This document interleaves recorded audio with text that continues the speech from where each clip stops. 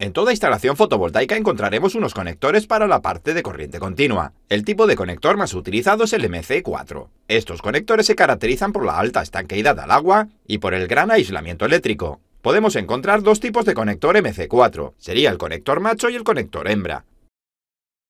Aquí os muestro los dos tipos de conectores. ¿Sabrías identificar cuál es el conector hembra?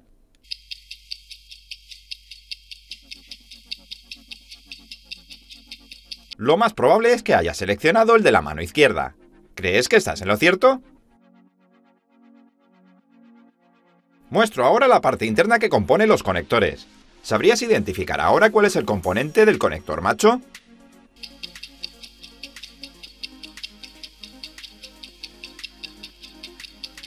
Si has seleccionado el de la mano derecha, estás en lo cierto.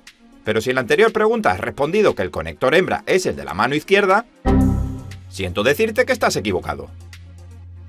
Las carcasas de los conectores MC4 reciben su nombre por el conector que llevan en su interior, y en el caso de esta carcasa más ancha, alberga el conector macho, y en la otra carcasa más estrecha se instala el conector hembra.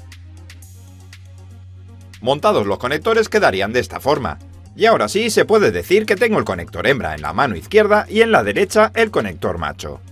Esto es todo por hoy, espero que haya sido de utilidad este vídeo, no olvides darle a me gusta, suscríbete al canal y nos vemos en el próximo.